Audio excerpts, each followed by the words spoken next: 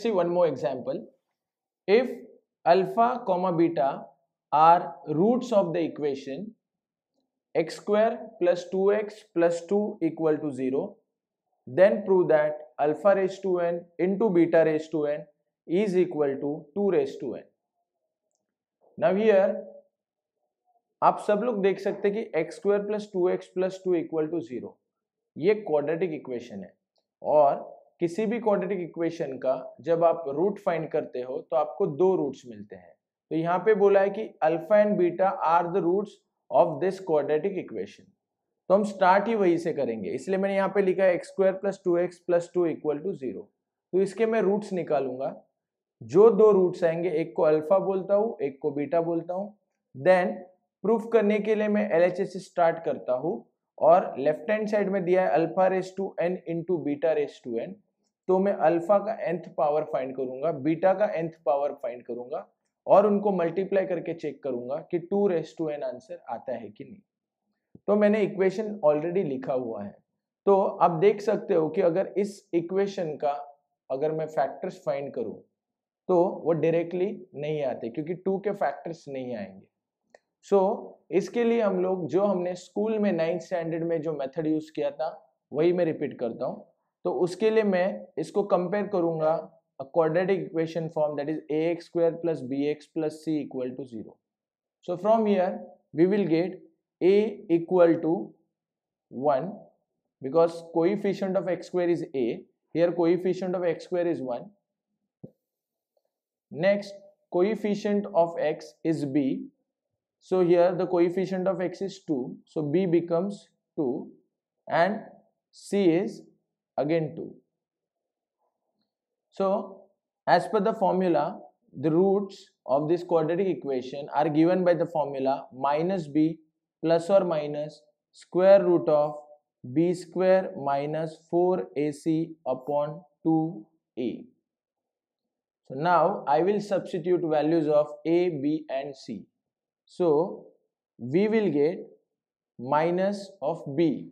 Here b is 2. So minus 2 plus or minus root of b square. So 2 square is 4 minus 4 a c. a is 1, c is 2. So 1 into 2 it is 2 upon 2a. So 2 into a. a is 1. So therefore this x will become minus 2 plus or minus square root of 4 minus 8. It will give me minus 4 upon 2.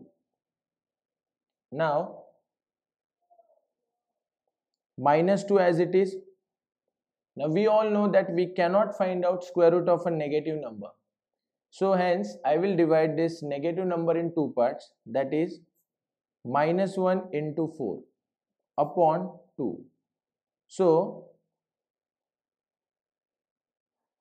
अभी मैं इनका root separately find करूँगा तो आप सबको पता है कि root of four is two and root of minus one is nothing but i क्योंकि जब हमने कॉम्प्लेक्स नंबर स्टार्ट किया था, तभी मैंने बताया था in any complex number value of i is root of minus one तो ये हो जाएगा two i upon 2.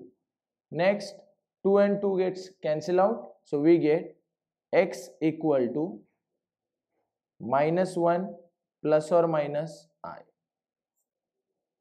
Now here you can see that we are getting two answers. First will be minus 1 plus i and second will be minus 1 minus i.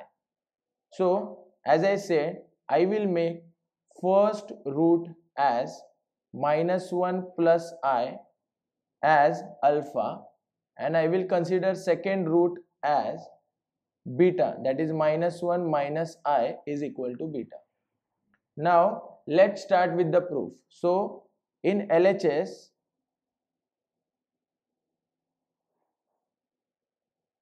alpha raised to n into beta raised to n is given. So I will write minus 1 plus i raised to n and value of beta is minus 1 minus i raised to n. So now we have to find out power n of a complex number which is given in Cartesian form. But as you all know that whenever we want to find power of a complex number, we have to use De Moivre's theorem. And De Moivre's theorem says that number should be in polar form. So my first job will be to convert the given number in polar form so that I can find out the power of a number using De Moivre's and then I will substitute value of it over here. So now let's convert the given numbers in polar form. So the number is, first number is minus 1 plus i. You can see here that x is equal to minus 1 and y is equal to 1. Now as x is negative and y is positive, this number lies in second quadrant. So in second quadrant, theta is given as tan inverse of y by x that is 1 upon minus 1 that is tan inverse of minus 1. So it will give me minus of tan inverse 1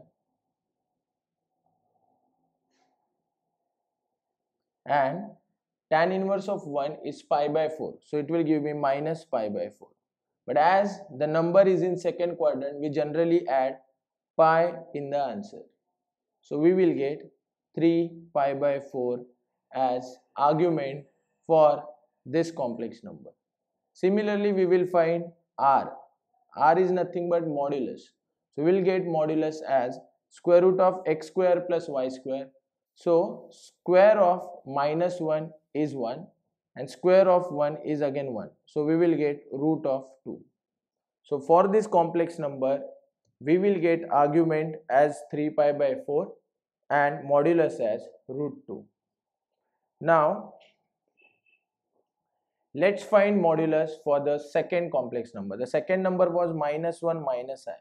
Now you all can see that this number is in third quadrant now you all can see that this number lies in third quadrant because here x is also negative and y is also negative.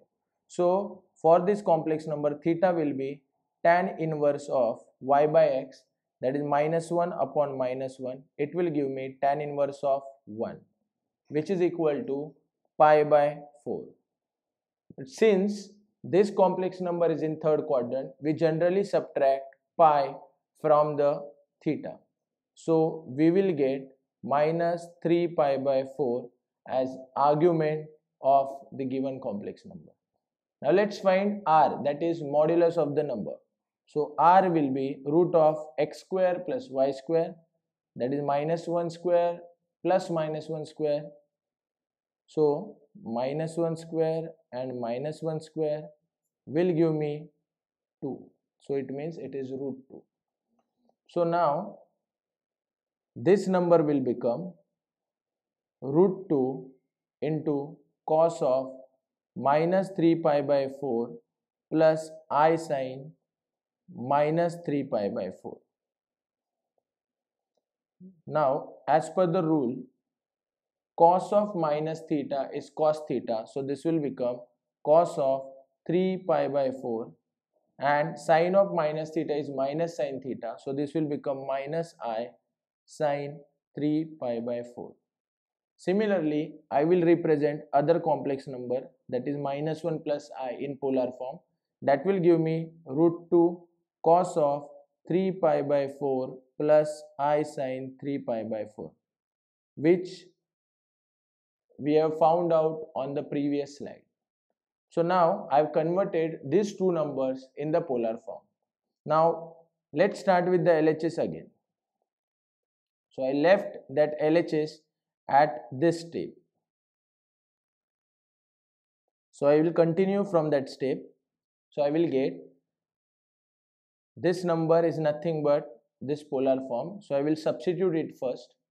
So we'll get root 2 cos of 3 pi by 4 plus i sine 3 pi by 4 whole raised to n into this number is equal to this polar form. So root 2 cos of 3 pi by 4 minus i sine 3 pi by 4 whole raised to n. So this will give me, this is root 2 that is 2 raised to half whole raised to n will give me 2 raised to n by 2. According to de Moivre's, this n will come inside and that will give me cos of 3n pi by 4 plus i sine 3n pi by 4. Similarly here it will give me 2 raised to n by 2. By de Moivre's it will give me cos of 3n pi by 4 minus i sine 3n pi by 4. Next, 2 raised to n by 2 into 2 raised to n by 2. Here we will apply law of indices. So this will become 2 raised to n by 2 plus n by 2. And this is a complex number which is in polar form. So what we'll do is now we have to multiply these two complex numbers. So to multiply two complex numbers, we will use the algebra of complex number properties. So here, if I want to multiply these two complex numbers, you can see this complex number is a positive and this one is negative. So to multiply it, I will convert it in exponential form. So this will give me e raised to i 3 pi by 4 and this complex number will give me e raised to minus i 3 pi by 4 as an exponential form. So 2 raised to n by 2 plus n by 2 will give me 2 raised to n and here as base is equal we can add the power. So in power i 3 pi by 4 and minus i 3 pi by 4 will give me 0. So e raised to 0 and we all know that e raised to 0 is equal to 1 hence 1 into 2 raised to n will become 2 raised to n and that is our required right hand side. So we have proved the right hand side.